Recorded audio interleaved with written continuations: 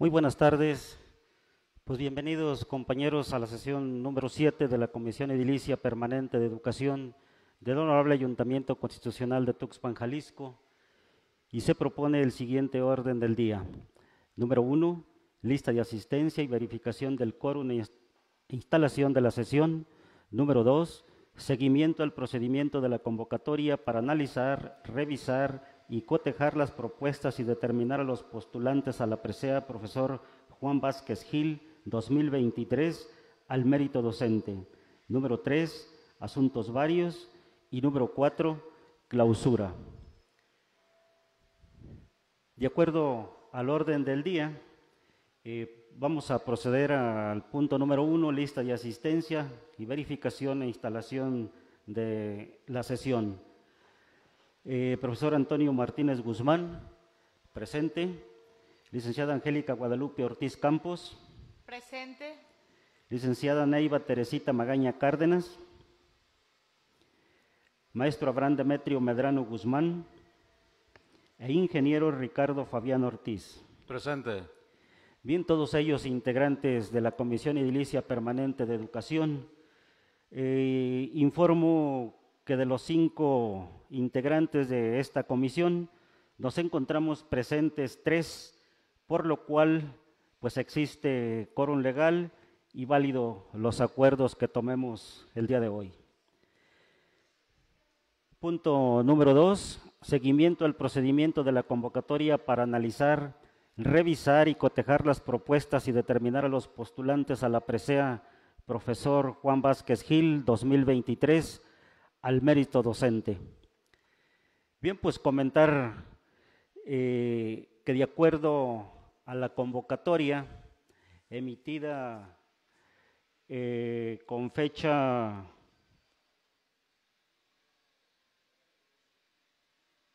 sí, este, anterior, pues informamos, informamos eh, que la Secretaría nos remitió cuatro expedientes que se recibieron completos. Posteriormente llegaron algunos otros expedientes, pero bueno, pues de acuerdo a la convocatoria, comentarles que hay eh, ciertos criterios que se tienen que considerar y bueno, pues se procedió a su revisión, a su análisis para ver, para determinar los propuestos, los nominados para recibir esta presea al mérito docente. Eh, compañeros, no sé si haya alguna propuesta.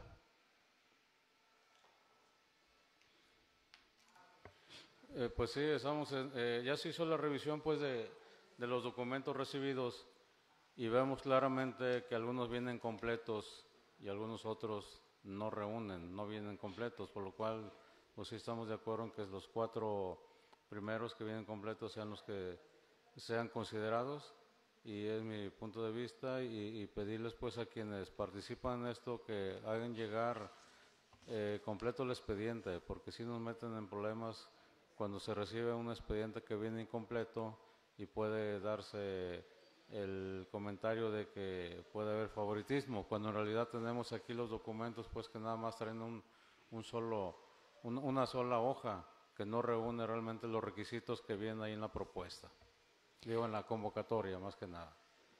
Licenciada Angélica. Sí, en ese sentido, este, por eso es de que se tomó la decisión en conjunto de los cuatro expedientes que ingresaron en tiempo informa. Más, sin embargo, mi solicitud era de que las demás personas, maestros que, que anotaron, se consideren para el reconocimiento por sus años de labor este, que, que nos están manifestando. Es cuanto. Gracias, licenciada. Bien, comentarles que de acuerdo a, la documenta a los expedientes que nos emite Secretaría. Eh, ellos son, con el folio número uno, corresponde al maestro Jorge Cortés Alcaraz del nivel primaria, el folio número dos a José Ángel Chávez Chávez del nivel medio superior de la preparatoria, el folio número tres a Luis Humberto Hernández Campos, también del nivel medio superior de la preparatoria. El folio número 04 corresponde a Socorro Aguayo Paredes, también del nivel, del nivel primaria. Comentaba hace un momento que, bueno, una vez revisados todos los expedientes, porque como les comentaba, parte de estas propuestas se recibieron algunas otras, pero es importante señalar, recalcar que, bueno, esas otras llegaron fuera eh, de los tiempos que marca la convocatoria y por lo tanto, pues el acuerdo de la comisión, pues es sino, como comentaba los compañeros, no tomarlos en cuenta para que reciban el galardón al mérito, al mérito docente. La propuesta en este sentido es entonces considerar, proponer más bien a los cuatro compañeros docentes eh, que correspondientes al, del folio número 01 al 04 para que eh, se propongan al Pleno y en la sesión ordinaria que se va a celebrar el próximo viernes, pues se apruebe quién va a ser el, galardonado a recibir esta presea al mérito, al mérito docente. Eh, vuelvo a repetir, ellos son los, los maestros Jorge Cortés Alcaraz, José Ángel Chávez Chávez, Luis Humberto Hernández Campos y Socorro Aguayo Paredes, todos ellos candidatos para recibir la presea al mérito docente.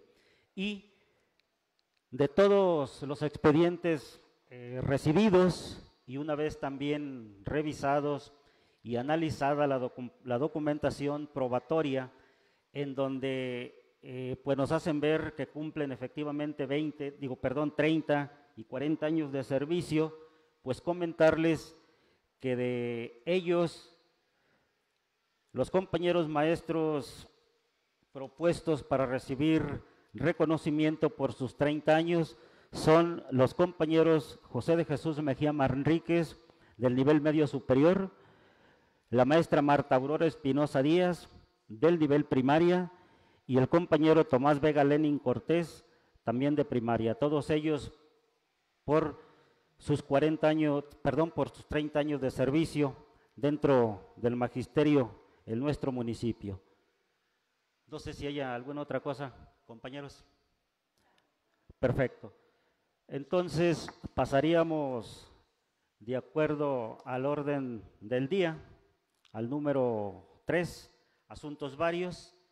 Pregunto, compañeros, si hubiera algún punto aquí que agregáramos. Compañero. ¿No? Perfecto. Pues bueno, no habiendo puntos varios, procederíamos, continuaríamos con el punto número 4 a la clausura de la asamblea. Si nos ponemos de compañeros.